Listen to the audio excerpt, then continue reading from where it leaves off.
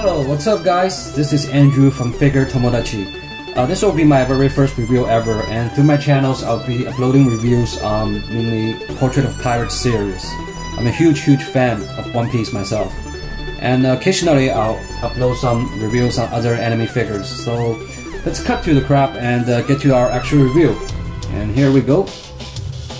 Uh, this is actually from the POP Strong Edition series. It's released by MegaHouse in 2009. I think it's December or November 2009. And this is our protagonist, Luffy, Monkey D. Luffy. And it came with his prized hat, straw hat, and a huge ass gun or cannon, whatever it is. And comes with other accessories as well, such as his captain's cloak. Um, we have a tie here, and an exchangeable hat, which I unfortunately don't have with me today. Let's go into some details. Uh, let's look at the straw hat here. I don't know if you can see it clear or not, but uh, the crossing of the straws are very uh, vis visible. It's very detailed, just like how real straw hats are made. And we have here the gun. It reminds me of some of those 19th century European um, antiques. You can even see the wood carvings and the wood carvings, the marks on here. And we have some nice little movable gadgets here. It's a really beautiful detailed gun. And the rest of the figure, let's look at it from the top to the bottom. The head, it's a rather general animation enemy hairstyle. But instead of the usual goofy Luffy face, we have a serious look here.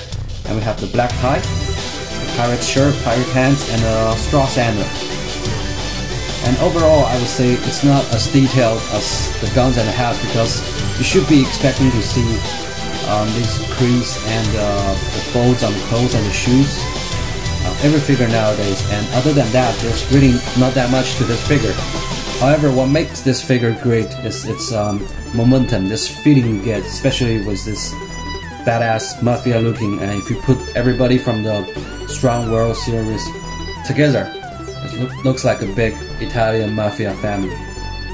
And yeah, so in terms of price, I would say today $200. It's not really worth. It. I mean, you can buy probably three Sailing Again POPs that's coming up for $200.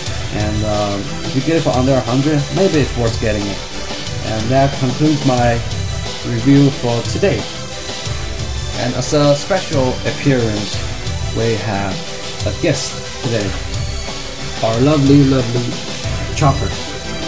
And this is from the Figuarts Zero series. Uh, I think this is a limited edition. Instead of the normal face, we have the Chopper's embarrassed face. Um, whenever he's embarrassed, he goes like um, some, someone gives him a compliment. You can actually watch a video video right here. He goes like this. Oops.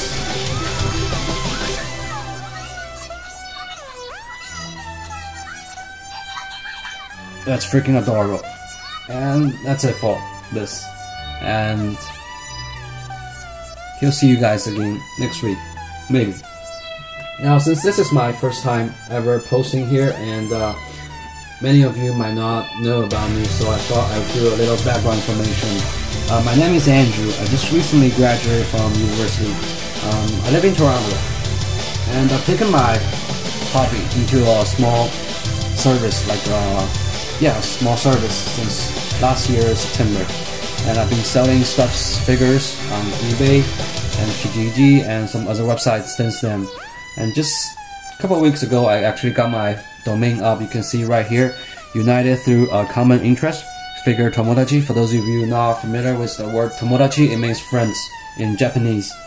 And um, yeah, my website is actually under construction. It should be ready in give or take uh, three four weeks. And I hope to see you guys on there. And if you have any questions or concerns, feel free to email me or leave a comment in the comment section below, like Ray said.